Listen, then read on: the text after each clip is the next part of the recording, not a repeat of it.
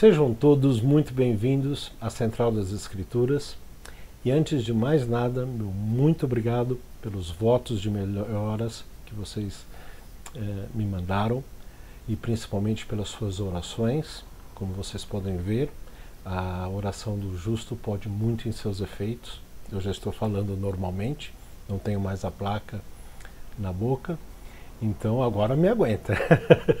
e já que você vai me aguentar, se você não for inscrito no canal, vamos lá, se inscreva, ative as notificações. Gostou do vídeo? Deixe o seu like. Não gostou? Também pode deixar o dislike. E parabéns novamente pelos comentários.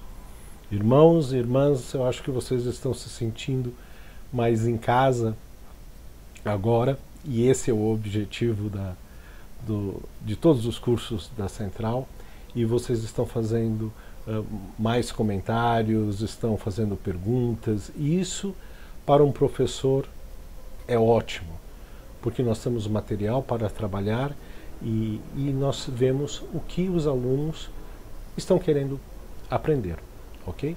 E a aula de hoje é resultado de um dos comentários, uh, eu acho que do segundo vídeo anterior a esse, né, não apenas do uh, vídeo, mas também uh, eu percebo que nas aulas da, da igreja dominical, sacerdócio, esse é um tema uh, que não é muito bem claro, ou seja, a distinção entre pecado e transgressão. Aliás, se tem alguma diferença.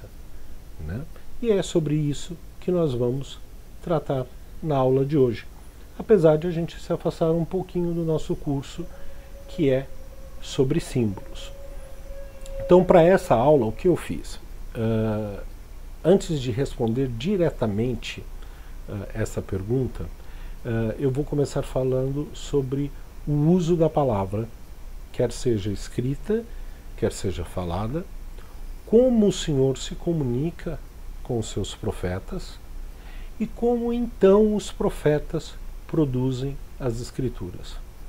Tendo essa introdução, que a maior parte do vídeo, né, uh, como base, é algo bem simples, bem superficial, eu não vou me aprofundar nesses temas, né, mas eles são necessários para que nós possamos entender como as palavras são uh, utilizadas nas escrituras e também no repertório da igreja.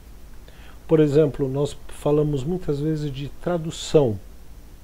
Na, e a tradução, que esse termo tradução, quando aplicado às escrituras, né, quer seja a tradução do livro de Mormon, ou do livro de, de Abraão, ou a tradução da Bíblia por Joseph Smith, não é o mesmo que nós aprendemos, por exemplo, na faculdade, ou que nós ou a mesma definição de, que se encontra no dicionário.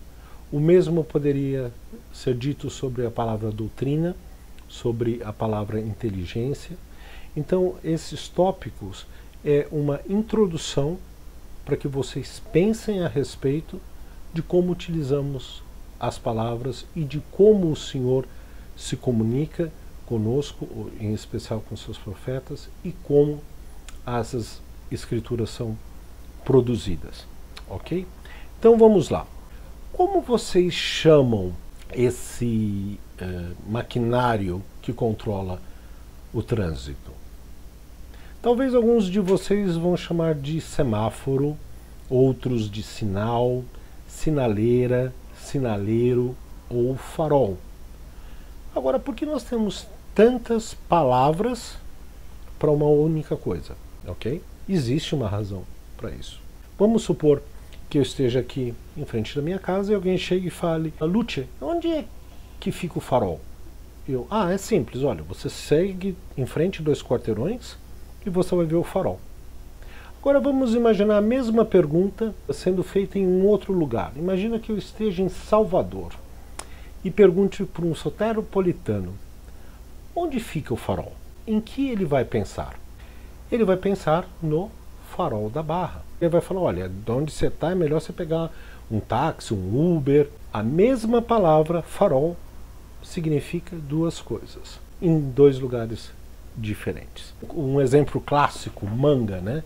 Manga pode ser a fruta, como pode ser a parte uh, da camisa. Então, nós vemos que uma palavra pode ter vários significados e várias palavras podem designar a mesma coisa. E por que que isso acontece? Eu já dei uma dica. Depende de onde você está. Eu vou pegar o exemplo do Brasil. Né? O Brasil é muito grande. Então depende de cada região do Brasil. Nós podemos chamar de semáforo, ou sinaleira, ou farol, né? ou tem tantos outros nomes engraçados que às, às vezes a gente ouve. Então tem a ver com onde a comunicação está ocorrendo. E mesmo dentro de uma mesma região, de uma cidade como São Paulo, por exemplo, o Rio de Janeiro, que é grande, né, pode ter uma uh, diferença.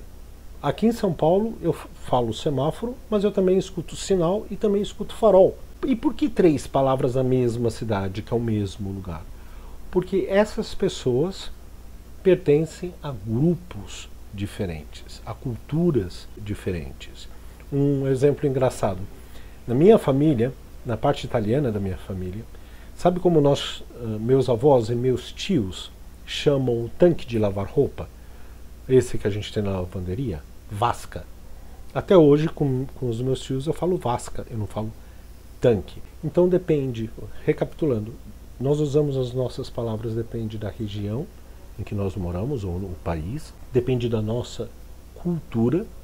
E como eu falei dos meus avós e dos meus tios, também depende do tempo, né? Eles são uma geração mais antiga, já mais próximo, né, meus avós, da língua italiana do que da língua portuguesa.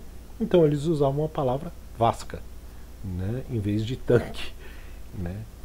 E nas escrituras a gente sempre tem que ter isso em mente as escrituras não foram escritas no Brasil ou em qualquer outro país de língua portuguesa, não foi escrita no século XXI e também não foi escrita por gente da nossa cultura, ok?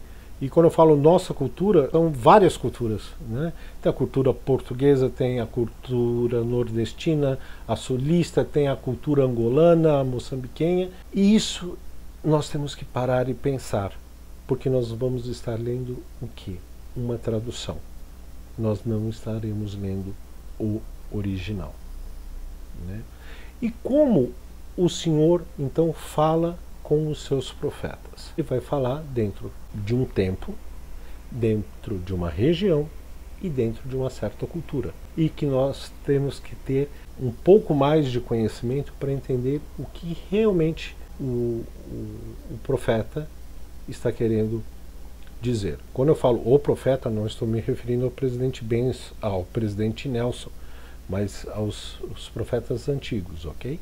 Né? O presidente Nelson tem essa visão global da igreja em todo o mundo, então ele fala de uma maneira muito mais clara, não só ele, mas os, os profetas modernos, ok? Então, vamos para segundo Nef 31.1 onde Nefe vai dar a primeira dica de como o Senhor fala com seus profetas e conosco. Ele diz o seguinte: Pois o Senhor Deus dá luz ao entendimento, porque fala aos homens de acordo com sua língua, para que compreendam. Então, primeiro princípio, o Senhor sempre se comunica conosco na nossa língua materna. Ele não usa língua estrangeira para falar conosco. O segundo princípio né, está em Doutrina e Convênios logo na primeira sessão, que é o prefácio que o senhor fez para o livro de mandamentos, ok? E ele é muito importante, porque ele fala algo a mais. O senhor não se revela na própria língua do profeta, mas tem um, um detalhe muito importante. No versículo 24: Eis que eu sou Deus, e disse-o: Esses mandamentos são meus e foram dados a meus servos em sua fraqueza, conforme a sua maneira de falar, para que alcançassem entendimento. Então, tanto o Senhor, através de Joseph Smith, quanto através de Nef, ele está falando: meu objetivo é dar entendimento aos meus filhos. Então eu vou falar na língua deles e na maneira de falar deles, dentro da cultura deles. Se o Lute fala vasca, o senhor vai falar vasca comigo. Se o irmão Adão fala tanque, o senhor vai falar tanque para o irmão Adão. E assim sucessivamente. Né? Agora, nós temos que ver que nem todas as revelações que o Senhor dá a seus profetas é uma revelação verbal, ou seja, o Senhor falando. A Doutrina e Convênios 76, por exemplo, é uma visão, ou várias visões, dos graus de glória. Né? A seção 138 é uma revelação sobre o mundo espiritual. A, a visão inaugural dessa dispensação, a primeira visão que Joseph teve, é bem típica. E existe uma outra maneira que o Senhor também nos dá revelação. Essa é mais comum, tanto para os profetas quanto para os membros da igreja. E ela foi explicada de uma maneira muito clara pelo profeta Joseph. Está em Ensinamentos do Profeta Joseph Smith, página 147. Ele diz: Por exemplo, quando sentis que a inteligência pura flui para vós, podeis repentinamente ser despertados por uma corrente de ideias. Então, como o Senhor se revela? Como eu falei, pode ser de uma maneira verbal, ele fala, o profeta escuta, né? pode ser através de visões, ou pode ser através dessa, dessa inteligência fluindo através de nós, essa corrente de ideias geralmente nós chamamos de inspiração. E isso, irmãos, é mais um processo do que um evento, como uma visão. O Senhor revela um preceito aqui, um preceito ali, dentro da nossa capacidade de compreensão, dentro da capacidade que nós temos de absorver aquilo que está ensinando, sendo ensinado, e o Senhor vai crescendo, vai aumentando esse conhecimento, como diz a sessão 93, de graça e em graça, à medida em que nós vamos obedecendo, à medida que nós vamos praticando, ele vai é, revelando muito mais. Imagine você descrever em termos humanos, com o vocabulário que nós temos, algo que é eterno, algo que é divino. É muito complicado. É igual você descrever o gosto do sal para alguém que nunca tenha provado sal, que é um grande exemplo do presidente Bodypacker. Né? É o livro de Mormon que vem em nosso socorro e fala o que os profetas passam para produzirem as escrituras. Moroni ele foi de uma humildade, irmãos, exemplar quando ele deixou esses versículos para nós. Que geralmente eh, nós só gostamos de falar sobre nossos pontos fortes. E Moroni confessa tanto ao Senhor quanto a nós, porque ele deixa escrito nas placas qual era a sua fraqueza, que eh, o Senhor também falou em doutrina e convênios. Então vamos lá para Éter 12, começando no versículo 23 até o 25. Diz assim: Moroni está falando sobre as placas ok? escrever nas placas e também escrever a vontade do Senhor, escrever a mente do Senhor. Né? Só fazendo uma digressão, Joseph Smith não tinha palavras para descrever a glória do Pai e do Filho. Ele disse que era mais brilhante que o sol. Né? Mas mesmo nós temos dificuldade de entendermos quão brilhante era essa glória, a não ser que nós próprios tenhamos essa experiência. É por isso que uh, o testemunho é, é, é, falado, mas não, é a nossa palavra que carrega o testemunho, é o Espírito. Porque tem que ser uma comunicação do Espírito do Senhor com o Espírito da pessoa. Senão fica algo sem muito sentido, fica vazio. Então vamos lá para Éter. Senhor, os gentios farão zombaria destas coisas, ou seja, das, da escrita nas placas, em virtude de nossa deficiência na escrita, pois não nos fizestes poderosos na escrita, e fizeste com que pudéssemos escrever só um pouco em virtude da inabilidade de nossas mãos. Eis que tu não nos fizestes poderosos na escrita. Por duas vezes ele confessa a inabilidade dele de escrever bem. E o mais importante no, no versículo 25. Portanto, quando escrevemos, observamos nossa fraqueza e tropeçamos por causa da colocação de nossas palavras. E eu temo que os gentios zombem de nossas palavras. Então, é aquilo que eu acabei de falar, irmãos. Imagina você traduzir em termos humanos algo que é divino, traduzir em termos temporais algo que é eterno. Quais são as palavras que você utilizará? Semáforo? Farol? O que, as pessoas vão entender? O, o processo de escrita das escrituras de receber revelação e de escrever revelação é um trabalho espiritual, é um trabalho emocional e também é um trabalho intelectual. Oliver Cowdery tentou traduzir o livro de Mormon e ele falhou. E o Senhor explicou por que ele falhou. Ele falou: Olha, você não entendeu. Você achou que eu ia dar para você as palavras uma atrás da outra, como se fosse um ditado, algo mecânico. Mas primeiro você deve ponderar em sua mente você vai ter que estar em espírito de oração e ponderar em sua mente. E daí você deve perguntar a mim se, se for correto o que você está traduzindo. E se for, eu farei arder dentro de ti o teu peito. Então, uh, o processo de produzir uma revelação é muito mais complexo do que nós imaginamos. No Evangelho, irmãos, não existe psicografia. Né? O profeta não começa a escrever, entra em transe e depois acorda. Nossa, recebi uma revelação. É um processo conjunto entre o nosso Pai Celestial, ou o Espírito do Senhor, e o profeta. Você pode ver as digitais de ambos nas revelações. Ok? E esse é muito importante. Então, tendo isso como base, como as Escrituras usam a palavra transgressão e a palavra pecado? Como vocês podem ver, de um modo geral, as escrituras e os tradutores não fazem uma distinção clara e nítida entre pecado e transgressão. E você falou até agora para dizer que não tem diferença? Ah, ah, quase. Eu disse de um modo geral. Existe uma grande exceção. E o presidente Oaks, na conferência de 93, ele disse o seguinte: essas palavras, pecado e transgressão, nem sempre têm significados diferentes. Mas tal distinção parece significativa no contexto da queda. Então, quando nós falamos sobre Adão e Eva, nós usamos a palavra transgressão. Ok? Para o restante da humanidade, nós falamos pecado.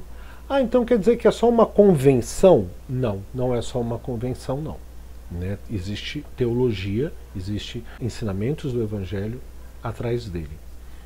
Joseph Smith uh, começou a perceber essa distinção na própria tradução do livro de Mormon. E no ano que a igreja foi, foi organizada, em 1830, ele recebeu uh, várias revelações que terminaram formando o que nós chamamos hoje de o livro de Moisés em Pérola de Grande Valor. E nesse livro, o termo transgressão é intencionalmente usado ao invés de pecado.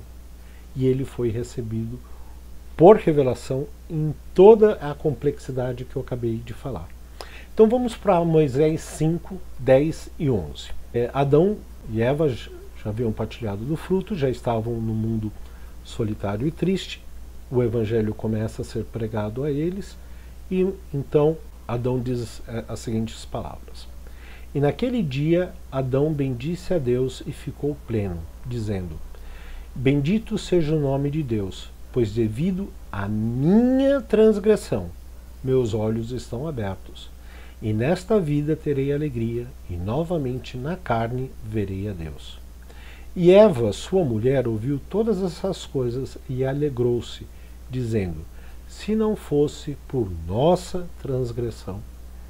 Então a palavra que o Senhor revelou não foi pecado, foi transgressão.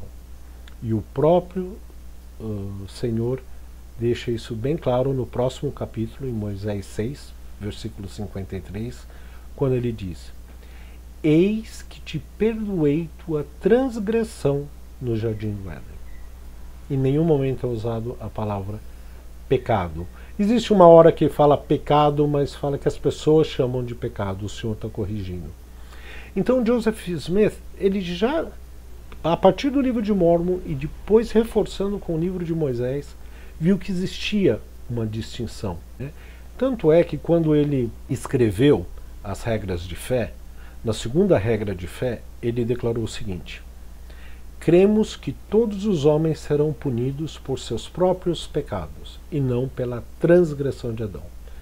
Quando se referem a, aos homens, à humanidade, nós nos referimos como pecado. Quando é Adão e Eva, no tocante à queda, é transgressão. Agora vamos lá definir o que é transgressão e o que é pecado. Né? Então vocês viram que nós falamos que as escrituras falam transgressão para Adão e Eva, para a queda de Adão e Eva, e pecado para o restante da humanidade. Pecado, irmãos, é uma rebelião aberta contra Deus. É uma desobediência motivada pelo orgulho, eu sou melhor. Quem Deus pensa que é para me proibir tal coisa? Eu vou fazer porque eu sou mais eu. Isso é a essência do pecado. Né? E o pecado, vamos ler o que o uh, presidente Oaks, na mesma conferência, falou. Então, algumas ações, como assassinato, constituem crime porque são inerentemente erradas. Então, o pecado, irmãos, é você desobedecer a Deus é você rebelar-se abertamente contra Deus, mas para fazer algo que é ah, naturalmente, essencialmente errado, como o assassinato, o adultério e por aí vai.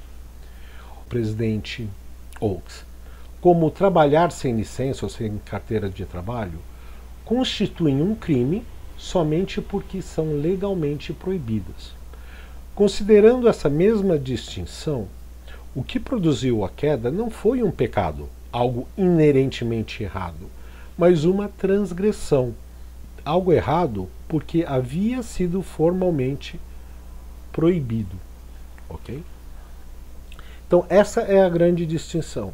Quer dizer, a segunda grande distinção.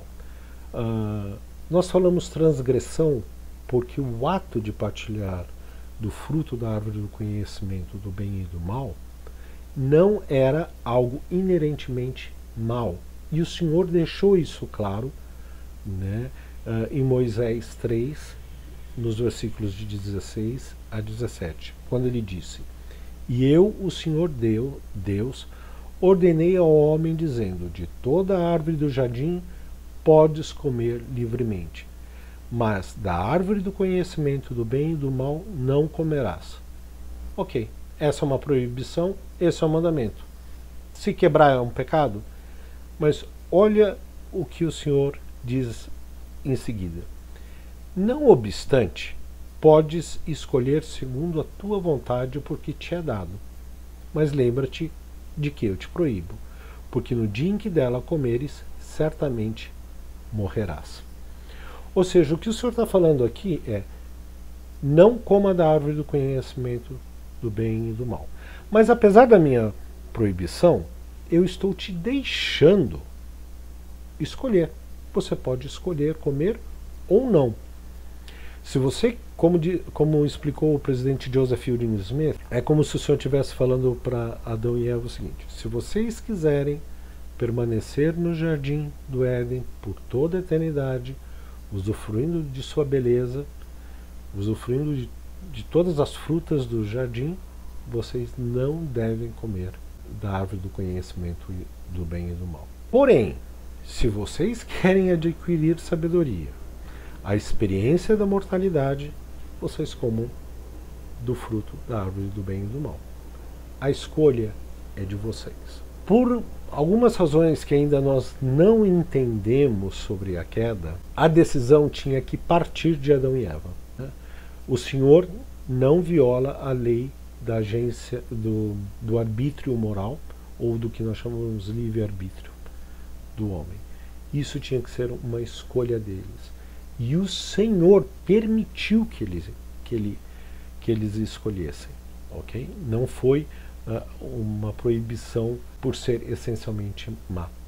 E o presidente Oaks, ainda no mesmo discurso, ele diz: seria uma ofensa planejada, uma formalidade que serviria a um propósito eterno. Então, uh, eu gostaria de resumir a diferença, o que é uma transgressão, com um exemplo. Imaginem um, um pai com uma criança de 2, 3 anos, e ele vira e fala: Você está proibido de atravessar a rua. Você não pode atravessar a rua. Essa é uma, uma proibição, irmãos, baseada na condição de que ele está falando com uma criança que não conhece todas as regras de trânsito ainda, não conhece ainda o perigo que tem, então o pai proíbe que a criança atravesse. Mas isso é para sempre? Não. Ele espera que essa criança cresça e se torne, por exemplo, um adolescente. E aí, o pai espera que ele atravesse a rua sozinho, sem precisar segurar na mão do pai e, e atravessar.